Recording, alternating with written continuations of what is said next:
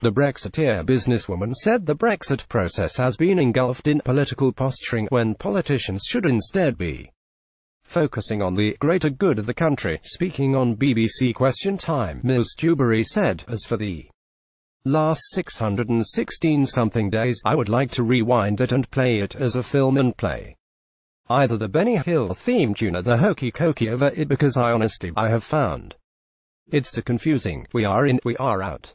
We want this. We don't want this. There is impact statements. Oh no, there's not. It has now become something where there is so much political posturing, almost like people are trying to get political personal gain instead of coming together and respecting the referendum result.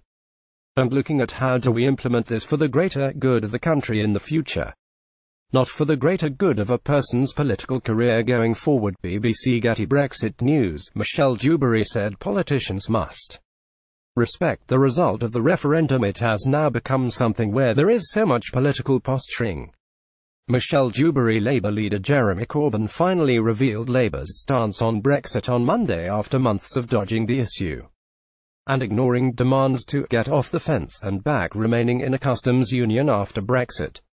Mr. Corbyn announced the party would hand over control of trade policy to Brussels by setting up a customs union with the EU. He called for full tariff-free access the EU customs union as he set out his plans for post-Brexit Britain in a major speech in Coventry.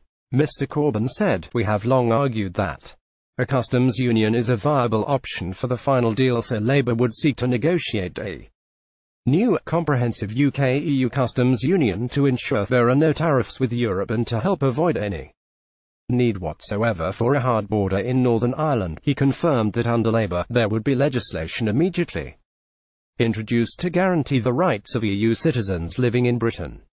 The Labour leader claimed the government was leaving the country in the dark as he set out his party's soft Brexit approach. A spokesman for the PM said the UK will categorically not be joining a customs union after Brexit.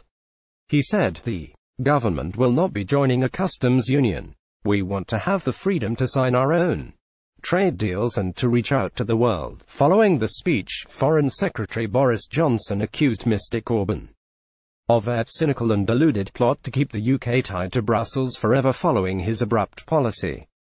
You turn over membership of the bloc's customs union.